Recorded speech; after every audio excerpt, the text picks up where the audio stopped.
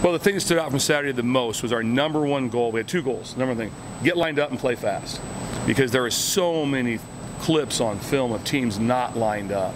I mean, there was, you know, you saw against Cincinnati, they had a walk-in touchdown because they weren't lined up. All, it's all over the film. Sometimes there's 14 guys on the film. Sometimes there's 11 on the film, but only four of them were lined up. It's all over the place. So, our, so we went 100% in alignment of getting lined up. We didn't have any like that. We did not say we played it perfect once we got there, but we got lined up and got. So that was the thing that, that transferred over, and then be able to get the calls in. And then we were able to, as the game went along, even though they were going fast, then we were able to call different things. But early in the game, we just went same, same a lot. So whatever the call was before, we called the same call again.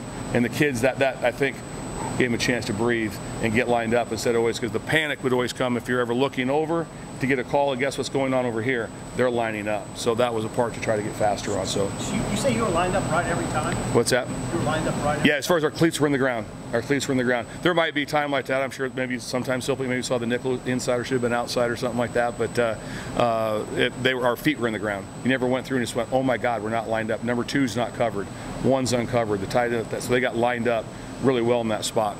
Uh, and then, like I said, there's always maybe some shades or some things that could be better for us, but very happy with that. Let's go 96% Sybil. I don't get myself in a pickle if you find something. Got me.